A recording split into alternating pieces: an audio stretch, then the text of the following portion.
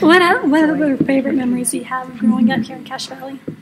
Oh, I have so many wonderful memories. Uh, uh, one, the first summer that I worked out uh, in the fields, pitching hay. Now that can be a dirty, sweaty business, but uh, uh, the uh, I just spent a week pitching hay, and the next year we had uh, hay bales came in, the, the mechanisms for uh, for baling the hay, hay up. And so then you just had to throw bales around instead of with a pitchfork.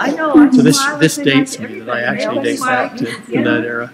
Picking beans, right? Picking the beans, topping the sugar beets. Topping the sugar beets. We, That's, would, that's where you learn what really hard work is. I don't know where kids get that today, but, but but you work your butt off out in these farm fields doing these kinds of things, and and, and, and I think at least for me, that's when I decided there's got to be some life that's more a little less arduous than this and can still be a lot of fun. But there was also a social aspect. I- I You did were There out was. friends doing, Yeah. doing that, but, but yeah, it, it, Yeah. it was not what you wanted to spend your life.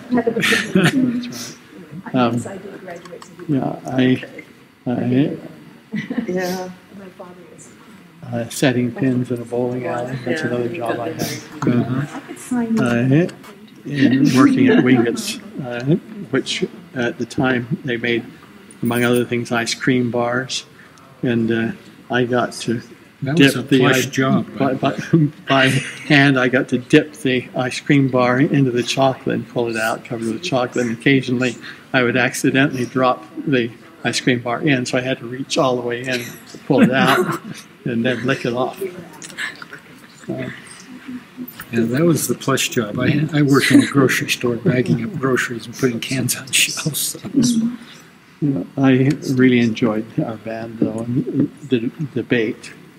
Uh, so I'm on the debate squad Merlin Olsen's my partner, and before that, uh, Lynn Crockett, who was, I guess she's left. She, she's here at the reunion, Yeah, and uh, that were, those were always fun because just to get ready for the for the you know debating the other school teams, we had to go up against each other all the time, and everything. You know, those were real dogfights. You, know.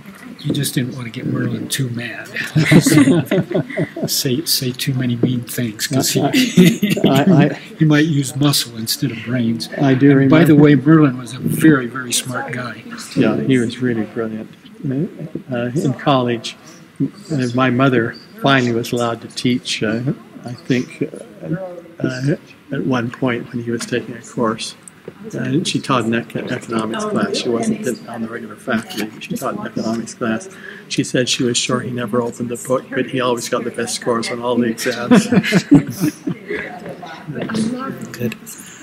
How does it feel being back here in um, Cache Valley? I, I just love coming back. And so it's just driving into the valley, well, driving up uh, through Dry Lake, and uh, and uh, then on down into the valley. It's just uh, sort of warms my heart when I look out and I, I see this gorgeous valley. And I, I was remembering riding my bicycle across. Uh, uh, when I uh, had a crush on a girl who lived in Wellsville, driving my bicycle, what nine or ten miles across. Is that is that her? and, and I, I remember that, that I think it was maybe only once or twice I drove, drove that far, but uh, just marveling at how beautiful Oh, the valley was while I was riding my bike across. How did you react when you heard that they were going to name a new boulevard in your honor? Well, I was a bit more than a bit taken back, uh, and a little more than a little embarrassed. I have, I Um, serious. But uh, it's a huge honor. It's a huge honor. Um, and I, the one thing that troubles me about it all is that I treasure my uh, relationship with my classmates, and I don't want them to treat me any differently than they ever did. I'm just hoping that, that that's the case. Um, so, like, in addition to feeling embarrassed, do you feel some like proud and accomplished to be um, one of Logan's first two Nobel Prize winners? Well, I'm proud in the sense that uh, I think it does reflect on Logan as a very special place. Uh, and so I'm proud in that sense. Uh, I think I'm hope I make clear in the lecture that I feel that, that the, in my case, the Nobel Prize was a little out of place because it was the whole team that should have gotten it. But, uh, but still, I think that uh, uh, it is, I get pleasure out of, uh, in some way, uh, helping people really appreciate uh, what the Logan City Schools have done for me and, and, and can do, have done for other people.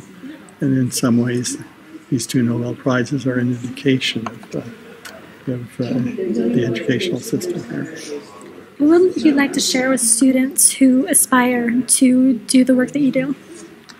I love it.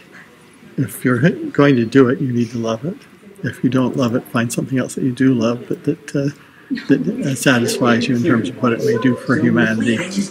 Uh, that uh, I think uh, if you're going to spend your life doing something as your principal avocation, uh, it should be something that you really enjoy. If it's possible to find uh, something and make a living at something you enjoy, and if, if you can't make a living at it, okay, well then do it on the side.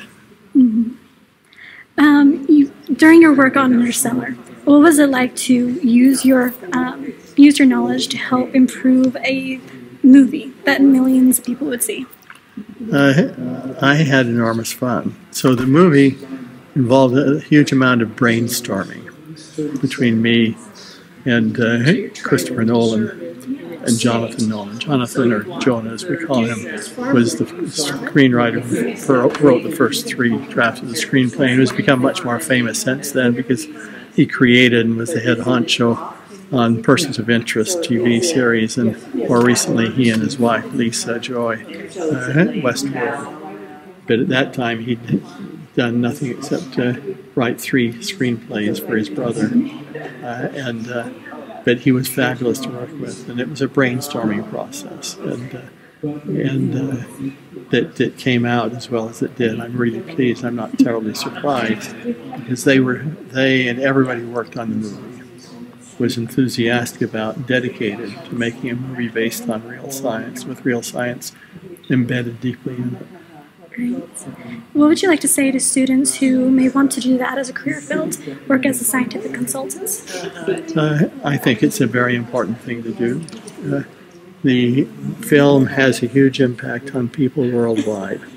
And if you uh, can succeed in embedding real science in a compelling way into film, that can be a tremendous inspiration.